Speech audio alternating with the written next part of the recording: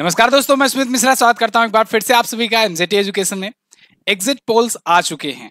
और इन exit polls को जानने से पहले आपको यह पता होना चाहिए कि एग्जिट पोल होता क्या है। एग्जिट पोल क्या है? ओपिनियन पोल क्या है? अंतिम चुनावी परिणाम क्या होते हैं? कितना ये अथेंटिक होता है? रियल रियलिस्टिक कितना होता है? ये सब हम लोग जानेंगे आज की इस वीडियो में। साथ ही साथ में सभी का एक सार आपको यहाँ पर मिल जाएगा कि किसने क्या क्या अनुमान लगाए हैं। किस किस मीडिया ने कौन कौन सी न्यूज़ एजेंसीज ने क्या क्या अनुमान लगाए हैं एग्जिट पोल में? ये सब हम लोग आज की इस क्लास में जानने वाले हैं। तो चलिए सबसे पहले तो समझते हैं ये एग्जिट पोल होता क्या है। क्यों इसको लेकर के इतनी चर्चाएँ रहती हैं? उसके बाद हम लोग जानेंगे कि किसका क्या अनुमान है। तो दोस्तों एग्जिट पोल जो है, नाम से ही स्पष्ट है। जब लोग एग्जिट होते हैं चुनाव से वोटिंग कर करके तो उनसे पोल कराया जाता है। उनसे पूछा जाता है कि भाई किसको वोट दिए? पहले तो डायरेक्टली पूछा जाएगा, अगर डायरेक्टली बता देते हैं, जो कोर वोटर होते हैं वो तो डायरेक्टली बता देते हैं कि हमने इनको वोट दिया है भाई। जो नहीं बताते हैं, उनसे इनडायरेक्टली क्वेश्चंस पूछे जाते हैं। तो मतलब कुछ क्वेश्चंस का अपना एक ये सीरीज़ बना करके ले गए रहते हैं डायरेक्टली और इनडायरेक्टली दोनों प्रकार से लिया जाता है क्वेश्चन उनके आंसर पूछे जाते हैं और फिर उनको एनालिसिस किया जाता है उन एजेंसीज के द्वारा और फिर बाद में एग्जिट पोल जारी किए जाते हैं। लेकिन इसकी शुरुआत अभी से नहीं हुई है, ऐसा नहीं है कि दो, चार, पाँच, दस साल से ये शुरू हुआ हुआ। इसका इतिहास काफ़ी पुराना है। एग्जिट पोल की शुरुआत अमेरिका में हुई थी। इसमें चार्ल्स गैलप और क्लाड रॉबिसन जो हैं, इन्होंने अमेरिकी सरकार की प्रति लोगों की राय जानने के लिए शुरुआत की थी। फिर आगे चल करके 1930 1940 के दशक में ब्रिटेन, कनाडा और भी बहुत सारी यूरोपियन कंट्रीज़ में भी होने लगे एग्जिट पोल डेनमार्क वगैरह में। फिर धीरे धीरे ये प्रचलन आ गया, लेकिन कहा जाता है कि उन्नीस सौ सड़सठ में 1967 में पहली बार बार एक विस्तृत तौर से किया गया सर्वे। और वो 1967 का दौर जो था, उसके बाद से बहुत सारे देश अपनाना शुरू कर दिए ये प्रक्रिया। सब लोग, इसके लिए बहुत सारी एजेंसियाँ बननी शुरू हो गई, जो एग्जिट पोल पर ही काम करती हैं। तो यहाँ पर भी, भारत में अगर बात करें तो भारत में 1980 में शुरुआत हुई 1980 के दशक में। Indian Institute of Public Opinion नाम से एक संस्था थी और उसने सबसे पहले शुरुआत की। एरिक डी कोस्टा, इन्होंने सबसे पहले भारत में शुरुआत की। फिर धीरे धीरे प्राइवेट एजेंसियाँ भी, प्राइवेट प्लेयर्स भी इसमें शामिल होने लगे और फिर जो प्राइवेट सैटेलाइट चैनल है, उनकी मदद से ये जारी होने लगा। आगे चल करके एक डेडिकेटेड रूप से एजेंसियाँ बन गई, कंपनियाँ बन गई, जो केवल जिनका काम चुनावों में लोगों की राय लेना, लोगों की ओपिनियन लेना, लोगों के एग्जिट पोल का ही विश्लेषण करना हो गया। बहुत सारी ऐसी कंपनियाँ हैं। तो ये सब कंपनियाँ जो हैं, वो किसी न्यूज़ मीडिया के साथ टाई अप करके अपना ये पब्लिश करती हैं और उन्हीं के साथ ये मिलकर के काम करती हैं। अभी मैं आगे आपको लिस्ट भी दिखाऊँगा। तो यहाँ पर होता क्या है? इन कंपनियों के जो एजेंट्स होते हैं पूरा इंडिया भर में फैले होते हैं और इसमें ये अलग अलग बूथों पर जाते हैं। लोग जब वहाँ वोट करके निकल रहे होते हैं, यहाँ पर एग्जिट पोल की बात हो रही है। जब लोग वोटिंग कर करके निकल रहे होते हैं तो उनसे पूछा जाता है क्वेश्चंस पूछे जाते हैं। अब ये क्वेश्चंस की लिस्ट ये लोग पहले से तैयार करके ले गए रहते हैं।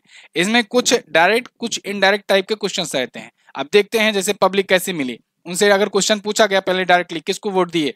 तो बहुत सारे लोग होते हैं जो नहीं बताते हैं कि किसको वोट दिए, वो कहें, भाई, हम दे दिए हैं। तो फिर उनसे पूछा जाता है, मुद्दा क्या था? आप किस मुद्दे पर दिए? अगर तब भी नहीं बताए तो उनसे कुछ इधर उधर के क्रॉस क्वेश्चन पूछ करके इधर उधर की कुछ अगर कमियाँ बता करके, खूबियाँ बता करके, कुछ उनकी राय लेने की कोशिश की जाती है। और इस इस प्रकार से निकलता है ये एग्जिट पोल फिर वो जो आंसर्स आए रहते हैं, उनको टीम बैठती है पूरा एनालिसिस करती है। उसके बाद ये सारा डाटा स्टोर करके रखा जाता है। जैसे ही अंतिम दिन का चुनाव प्रक्रिया समाप्त होता है मतलब अंतिम दिन की वोटिंग खत्म होती है जब, उसके आधे घंटे के बाद ही ये सभी न्यूज़ चैनल और सभी जो न्यूज़ मीडिया जिनके साथ टाइप कर, करके ये जारी कर रहे होते हैं, ये सब मिल करके एग्जिट पोल जारी करना शुरू कर देते हैं। तो ये तो था एग्जिट पोल अब अगर ओपिनियन पोल की बात करें तो ओपिनियन पोल उतना एक्यूरेट नहीं माना जाता है, क्योंकि ओपिनियन पोल चुनाव से पहले लिए जाते हैं। जैसे चुनाव अभी होने वाला है अगले एक दो महीने में, तीन महीने में, तब लोगों की राय ली जाती है, सभाएँ हुई जगह जगह पर। आप देखते हो जो डिबेट होती है पब्लिक मीटिंग होती है, उन सब में लोगों की ओपिनियन जानी जाती है कि यहाँ पर क्या माहौल क्या है। ठीक है? लेकिन जानते हो, बहुत टाइम बहुत सारी जगहों पर लास्ट टाइम पर वोटर्स बदल जाते हैं स्विच कर जाते हैं तो ऐसे में एग्जिट पोल ज़्यादा कंपेरेटिवली एक्यूरेट माना जाता है। लेकिन अब ऐसा नहीं है कि एग्जिट पोल बिल्कुल रामबाण ही है, जो वो आ गया, वो जो बता दिया, वही रिज़ल्ट है। अगर ऐसा होता होता तो फिर चुनाव आयोग रिज़ल्ट क्यों जारी करता? एग्जिट पोल से ही सब लगा लेते। एग्जिट पोल बहुत बार गलत भी हो जाते हैं, क्योंकि क्या होता है कि बहुत सारे हिडन वोटर्स रहते हैं। वो बताते नहीं है कि किसको वोट दिए साइलेंट वोटर जिन्हें कहते हैं। तो जब ऐसी सिचुएशन आती है तो बड़े बड़े न्यूज़ एजेंसीज हैं या, या कहें कि ये सर्वे कराने वाले जो कंपनियाँ हैं एजेंसियाँ हैं ये सब फेल मार जाती हैं। तो कई बार ऐसा हुआ भी है ठीक है? तो अभी के टाइम पर अगर बात करें जैसे आप बड़े बड़े जो भी न्यूज़ चैनल देखते होंगे इनका किसी न किसी एजेंसी से टाई अप रहता है। और ये सब उनके साथ टाई अप करके ही अपना एग्जिट पोल जारी करती हैं। जैसे ही चुनावी प्रक्रिया समाप्त होती है उसके आधे घंटे बाद जारी करना शुरू कर देती हैं।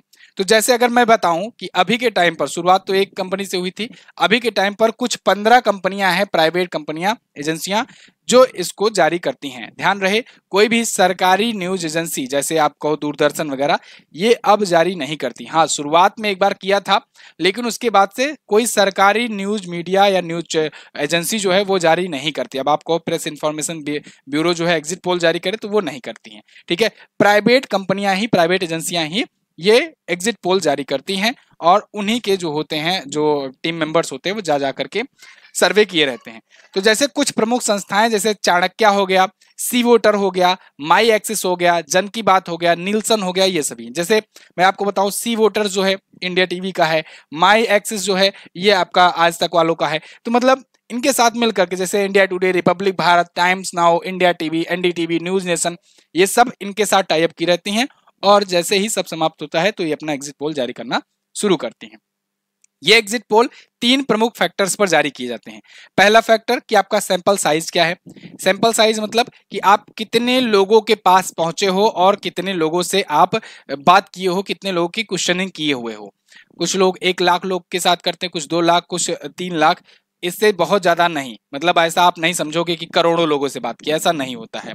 करोड़ों लोगों से बात करने की ज़रूरत भी नहीं पड़ती है और ना ही पॉसिबल है ये इतना क्योंकि जब चुनाव होने होते हैं तो समझ लो सत्तावन से अट्ठावन सीटों पर एक ही दिन में चुनाव होते हैं तो उतना पॉसिबल नहीं है कि करोड़ों लोगों के पास रीच किया जाए। तो सैंपल साइज़ दिया जाता है कि ये कितना है, कितने लाखों में है।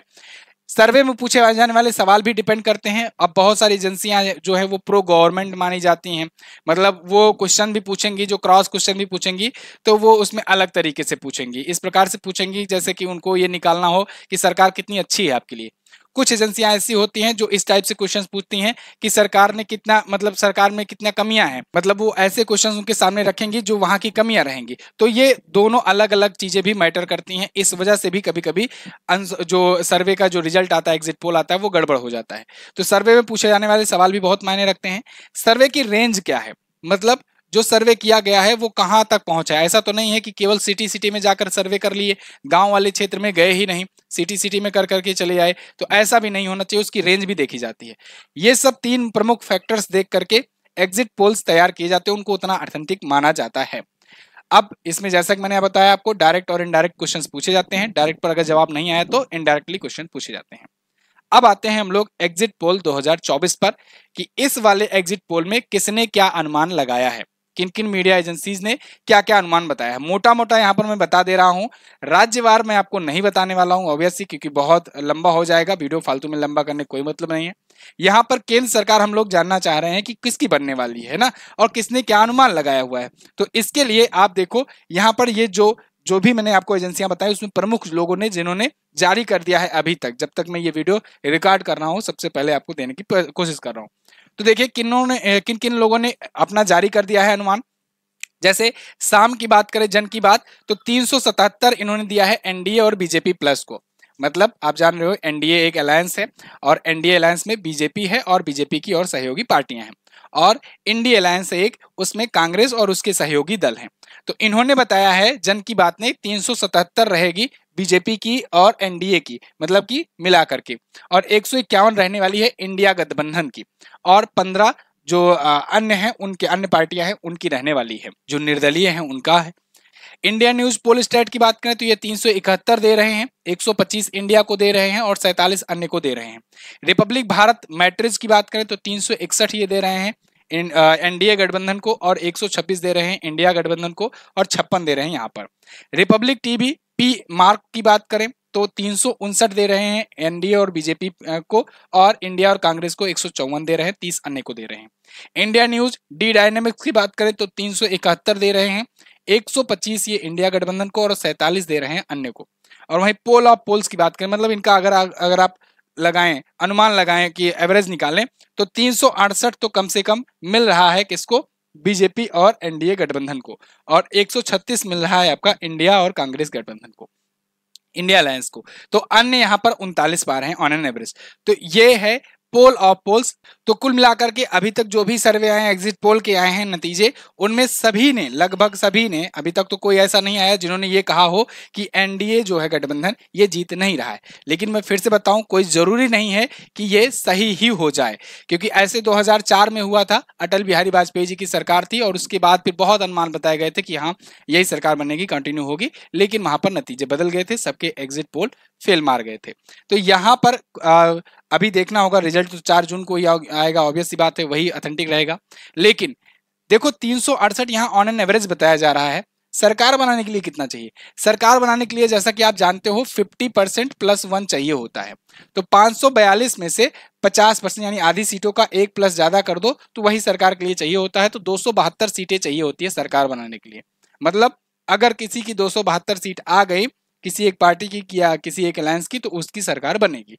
तो यहाँ पर इस हिसाब से तो इन एग्जिट पोल के हिसाब से तो एनडीए बीजेपी की तीसरी बार सरकार बनने जा रही है। फ़िलहाल ये गलत भी हो सकता है, ये सही भी हो सकता है। इस पर आपकी क्या राय है, आप हमें कमेंट करके बता सकते हो। ये वो पोल थे जो इन एजेंसीज ने जारी किए। अब ये ये भी ध्यान रखने वाली बात है। ऐसा भी नहीं है कि जैसे कि ये कह दो कि ये मनगढ़ंत चीज़ें हैं। क्योंकि क्या हुआ ना, जैसे कि मैंने आपको बताया, बहुत सारी एजेंसियाँ जो हैं, वो लगी रहती हैं पूरा पूरा साल साल भर पूरा सर्वे करने में, ओपिनियन पोल निकालने में। तो वो पूरा डेडिकेटेड रूप से इसी पर काम करने लगी हैं अब। तो अब ये ज़्यादा साइंटिफिक होता चला जा रहा है कि क्योंकि सभी को अपना नाम बनाना होता है। मुझे याद है एक बार एबीपी न्यूज़ का बहुत ज़्यादा एथेंटिक आ गया था एक्यूरेट आ गया था, इस वजह से सब लोग अगली बार केवल उसी का ज़्यादा देख रहे थे प्रेफर कर रहे थे। तो सभी जो एजेंसियाँ हैं, वो अब कोशिश में रहती हैं कि हमारा कितना ज़्यादा एक्यूरेट नंबर आ जाए। तो इसके लिए वो भी काफ़ी ज़्यादा सैंपल साइज़ भी अपना रखती हैं और एक्यूरेटली बताने का प्रयास करती हैं। क्योंकि उनको भी अपने आप को फ़ेमस करना होता है। तो ऐसा भी नहीं है कि सब लोग मनगढ़ंत बता रहे हैं और फिर बताने का मतलब ही क्या है, जब तीन दिन बाद रिज़ल्ट ही आ जाता है तो मनगढ़ंत बताने से कुछ होगा नहीं। तो फ़िलहाल अब देखना होगा कि ये एक्चुअल रिज़ल्ट से कितना ज़्यादा मैच खाता है और कितना ज़्यादा एक्यूरेट ये मिलता है किस वाले से। आपकी क्या राय है, आप लोग कमेंट करके बता दीजिए, आपके हिसाब से क्या होना चाहिए, क्या रिज़ल्ट आना चाहिए। अगर वीडियो पसंद आई है तो इसको लाइक और शेयर कर देना चैनल को सब्सक्राइब कर देना, ऐसी और वीडियोस पाने के लिए। कम से कम समय में मैंने आपको कोशिश किया है पूरा कंटेंट देने का। थैंक यू सो मच मिलेंगे अगली वीडियो में, तब तक लिए नमस्कार जय हिंद वंदे मातरम।